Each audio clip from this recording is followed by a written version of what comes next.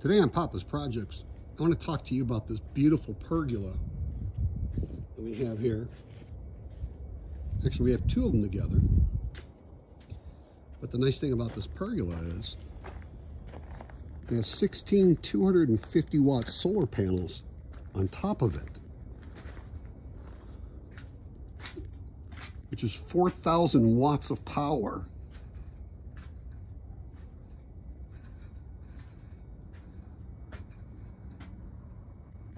And I have all that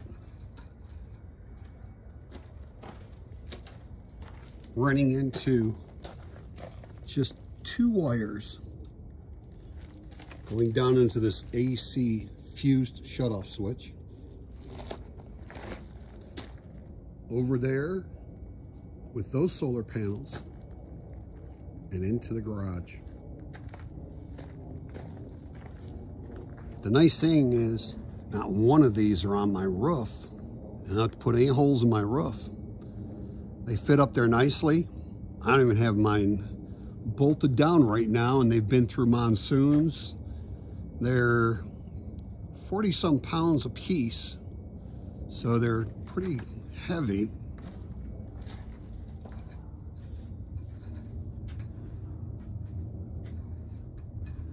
From a distance, you can't even tell Here's a, another set of pergolas over here. The two of them we bought. And that last section we built ourselves. And we have 12 solar panels up there, 250 watt polys. And we have a roof up here that keeps it from leaking down below. In the summertime, we'll have sun on these constantly and we'll have 24 panels on there and we'll be able to run a 6500 watt inverter. It's actually UL listed. We also have some solar panels on the back wall. But with these pergolas, they're pretty easy to buy the kit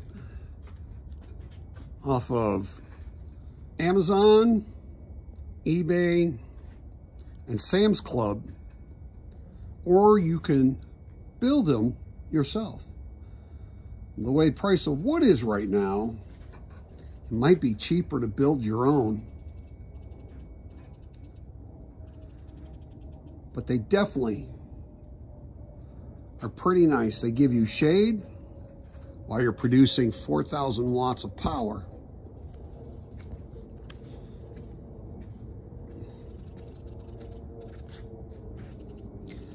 Just another way that you can use your solar without putting it on your roof. I hope this helps. I hope you'll come back and join me again. We'll get a little more into detail about these pergolas and how to make them. Have a wonderful and blessed day.